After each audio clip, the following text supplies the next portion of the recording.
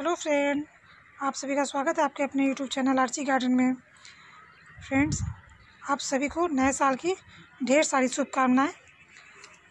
आप सबों की ज़िंदगी में भी, जैसे मेरा ये गुलाब का फूल है, बहुत खूबसूरत। आप लोग का भी लाइफ, ज़िंदगी बहुत खूबसूरत हो, खुशियों से भरा हो।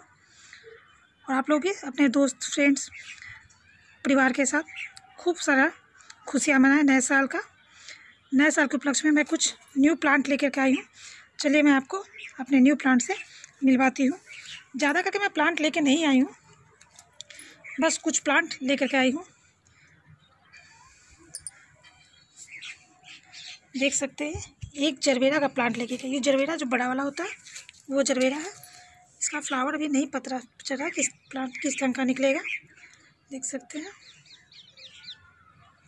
एक पिटूनिया लेके गए हैं।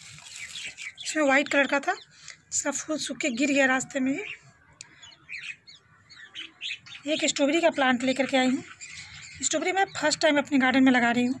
देखती हूँ कैसा रहता है। और ये एक प्लांट से है ना, बहुत सारा प्लांट बन जाता है। मैं आप लोग के साथ शेयर करूँगी किस तरह से आप प्लांट लगाएँ कि बहुत सारा प्लांट बन जाए और लगा सकते दो मैं जरेनियम लेकर गई जरेनियम में भी फ्लावर बट या फ्लावर नहीं खीरा, बहुत छोटा छोटा सा है। और ये मुझे केवल टेन टेन रुपीज़ का मिला हुआ, दोनों अलग अलग। ये देख सकते हैं, दोनों अलग नर्सरी वाला बता रहा था, दोनों अलग कलर का खिलेगा। इसमें बीच में एक रेड कलर का लाइन है और इसमें देख सकते हैं, इसमें कुछ भी नहीं है। ये प्लेन है और बहुत छोटा छोटा है। ये मुझे वन हंड्रेड का मिला है और जरबेरा भी मुझे वन हंड्रेड का मिला है। पिटनिया मुझे थर्टी रुपीज़ का मिला है। और एक मैं परमानेंट फ्लावर प्लांट ला के आई हूँ। ये घोड़ी चोरी का प्लांट है। इसे येलो वेल भी कहते हैं। मेरे पास बहुत पहले भी था एक, लेकिन अक्टूबर में इतना मेरे यहाँ बारिश हुआ, वो प्लांट मेरा ख़राब हो गया। बस मैं इतना ही सारा प्लांट लेकर के आई हूँ और दस के जी बर्मी कम्पोस्ट लेकर के आई हूँ। मुझे ये वन सिक्सटी में मेरा बर्मी कम्पोस्ट बस मैं इतना ही सारा फ्लावर लेकर के आई हूँ। ज़्यादा मैं नहीं लेके आ पाती।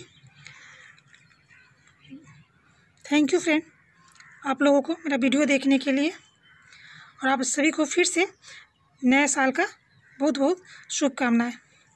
थैंक यू फिर मिलते हैं नए वीडियो नए टॉपिक पर लेकर तब तक के लिए आप लोगों को गुड बाय आप अपना और अपने प्लांट का ख्याल रखिएगा। Thank you